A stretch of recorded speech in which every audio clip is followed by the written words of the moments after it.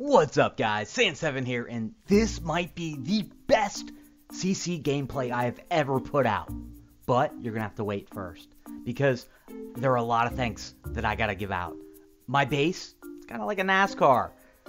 Sponsorships all over the place. 420, didn't want to be named, but I got you, brother. And next, well, Niggy and Friends' own Buffkin22. Appreciate the donation, brother. It's really helped out. All right, moving on to the next one, which I gotta say, I really enjoyed reading the business plan behind this. And, well, guys, it's Blurp. What is Blurp? Well, Blurp is the future. And that is all I'll tell you now. You will hear more about it soon. But let's go ahead and get into some of the gameplay, which, well, of course, it's way by. I had mentioned in a previous video that I was close to it, and I should start just taking it down. Well, here it is. And what you're going to get to see is Archer Towers going after I, and then Magic Towers. Which one's better? Hero Trials with Magic Towers too. Well, right there you can see why this defense works. It's going to funnel the heroes around, the towers are going to take care of Spirit Mage. It is absolutely golden in that aspect. Also, troop camps on the very edge, they act as absorption. I use 20 guardians in each troop camp. That way when Spirit Mage does proc, which she's going to do in about 3, 2, 1, she's not hitting my heroes. And from there, well, my heroes get to go off Pumpkin Duke with that 7 and 9 celebrate. Whoa, everybody disappeared. That's right. Taking care of business. Alright, we got I3 coming in on a low spawn, and this is my weak spot on this defense. This corner on the bottom right here, because of the corner building, the decoy building, that vault does not have enough HP, and I'm constantly losing Spirit Mage. Now, final hour, give me your damn Reaper. With, with a Reaper that's leveled up and skilled up, he tanks that no problem. Probably run J if I get that one. Alright, moving on to I4, and you can see that's a great spawn. The towers eat Spirit Mage alive. It didn't matter that Thunder God had to proc there, but might as well let him proc twice, take care of the rest of it. Going on to I5, and I mentioned not getting a good spawn last time. This is the best spawn I could have possibly gotten. They're going all the way around to the Town Hall, which is the highest HP building in the entire game. And from there, Spirit Mage gets eaten alive by the towers and Thunder God, and before you know it, and probably didn't even see it, yeah, that dragon's dead. Game over, mana drop, oh well, but that was the first time beating I. Absolutely loved it. Alright, now Blurp. I mentioned them before, but I really do have to say thank you because I got to play Smash and Win! Yay!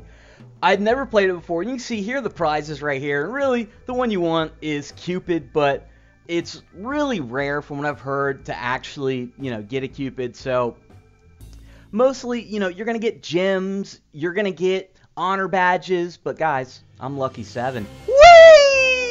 I did get a Cupid. I couldn't believe it. I mean, come on. Well, I, I, I just rolling Revive Minotaurs and breaking Cupids open. You know, I'm absolutely loving all these different events, especially this one. This one is so cool watching the World Cup yesterday. Wish I could have got um, the votes in, or the gambling in yesterday, but yes, I did say gambling. You are betting on games, but first let's get through the smash and wins. You can see 1,800 honor badges, Cupid, 250 gems. That is an awesome bonus for buying gems that I was going to buy anyways, not to mention the 15% bonus. Now, I mentioned gambling. Yes, you picked the winner. World Cup, and I'm going Algeria. These picks, straight with my guy. I did not think about them. I did not look up stats. I went with my instinct. Now, I do pay attention to soccer.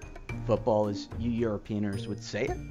But I do think Mexico's got a very good shot at coming up with a draw there. And after watching South Korea in 02, I do think they will take care of Russia. I don't think either of them actually made the World Cup uh, four years ago. But, all right, let's go into the Magic Towers because I got so many PMs like, why are you using Magic Towers? You're an idiot. And I'll admit, in the past, when I saw Magic Towers while raiding, I would say, no Magic Towers. This guy's an idiot. Well, guys, when you get them leveled up and you use five of them or, you know, a certain number of them, They are amazing. Look at Spirit Mage and watch her just get stunned over and over, and that hooker gets beaten by Druid because she's stunned.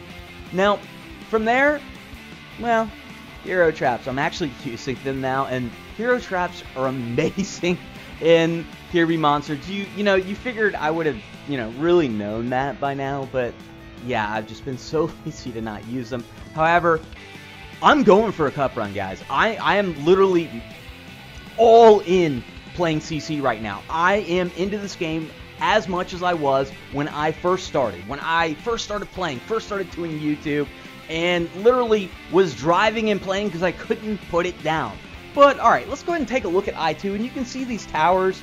I mean, they're flat out stunning the heroes left and right, making this really easy. Now in I3, good spawn right there. I've got my guild hall, which is the second highest HP building. That's going to give me plenty of time. And the towers, just, I mean, look at their Pumpkin Duke. He couldn't even move.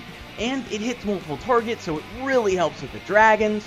Now, yes, it is a pain to deal with Thopters. And a spawn right, this is the worst spawn I could have gotten because two of my towers are there. There's no decoy building, but Pumpkin Duke at 7 of 9. And, well, let's get it on. All of them are gone, down to one tower. Well, I'm hoping for that same spawn with Town Hall. Oh, see, now, alright, now this spawn's not the good one. All I have is a gold vault there. That's it. However, Minotaur procs slows them down. Spirit Mage is going to get stunned and the reason I get by is that tower stuns her and she doesn't get a chance to proc. Thunder God ends it. I'm walking through Eye with Magic Towers. Alright. Now, I really do think it's a mix of Magic Towers and Archer Towers that are going to get you by and be the best possible setup because Magic to stun Spirit Mage, then the towers to kill that hooker. Alright. Magic Towers, all five of them, they shine in Hero Trials. I can't beat L6 for successes with towers, with the Archer Towers. Magic Towers, just look at that. Look at all the stuns. Every time they take a step, stun. And with that, that gives my Pumpkin Duke a chance to stack his Celebrate. And when Pumpkin Duke stacks Celebrate at 7 of 9, it's game over. I don't care what heroes are out there.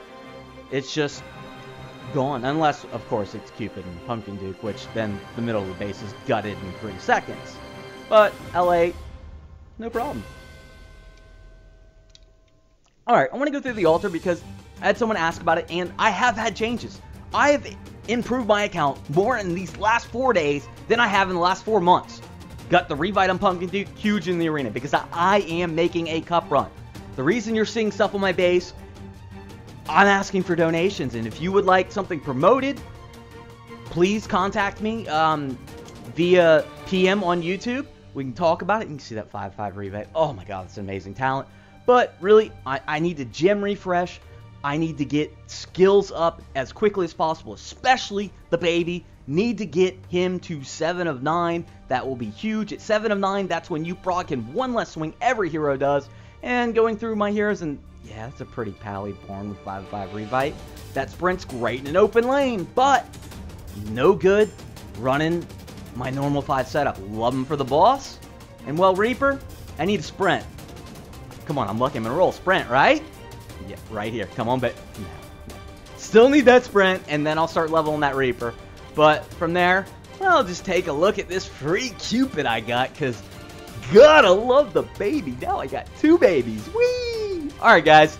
Thanks to Blurp. That was a huge donation. I really do appreciate it. Alright, guys. Sand7 out.